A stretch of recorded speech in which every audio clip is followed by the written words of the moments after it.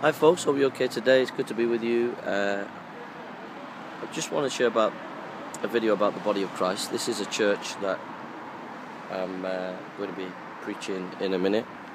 Uh, so um, just waiting for the door to open, and um, I'll be preaching there.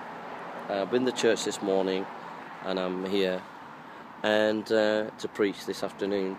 I'm going to preach the sermon that I did today uh, in the car on Joseph, and uh, I just want to say about uh, the body of Christ, the importance of the body of Christ, the importance of being part of a of a fellowship. You know, sometimes we get hurt and we leave church or whatever. Maybe that's happened to you, but it's so important to be with a group of people, a group of the Lord's people.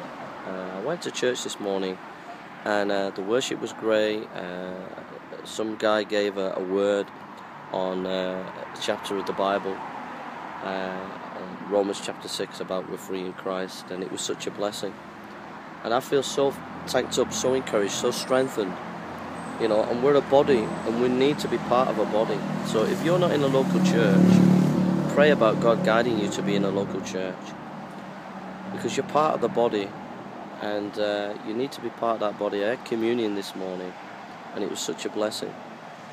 So, so, you know, I know that there's apostasy in the church. I know there's real bad things happening, but there must be a remnant. There's a remnant somewhere. There are faithful people somewhere in your area. So pray that God will guide you to these people and be part of a group where you can be encouraged and strengthened in the Word, and strengthened in, in the Holy Spirit, and, and strengthened in, in growing and following the Lord. So, those are my thoughts. We're a body. You're part of the body, so ask the Lord to show you where He wants you uh, in the body of Christ. God bless you.